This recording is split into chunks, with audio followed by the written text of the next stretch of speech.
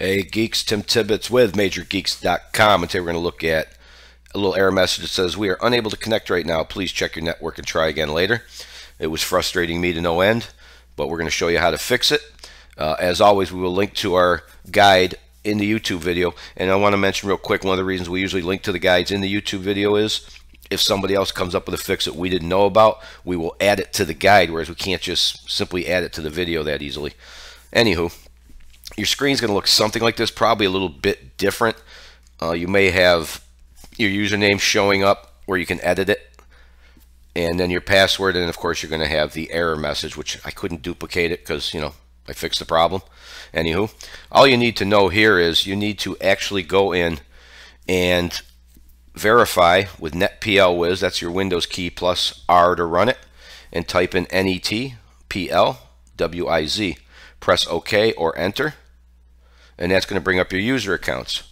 If what you see here is your box is unchecked, which is what you would think it would be, meaning you don't need to enter a username or password to log in, check it. Once you check that box, it is going to ask you to enter your username and password on your next reboot. So go ahead and check that box and reboot. Put your password in. Keep in mind that it's your Microsoft password, not any other password for Windows. It is the account you set up with perhaps Windows 10 when you first installed it. You set up a Microsoft account or your Microsoft Live account. That's the password you need. You can, of course, recover it if you don't know in the startup. Anywho, so you've now checked this, which is backwards way of doing things, but it works. And you've rebooted, and you come back up, and you put your password in. Now come back in, and once again, press the Windows key plus R and open NetPLWiz again. And when you do, you got it. Uncheck it again.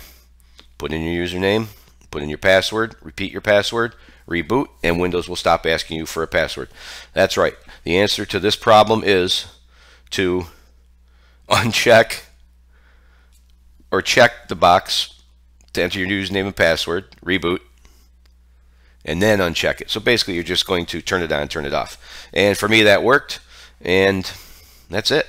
There you go.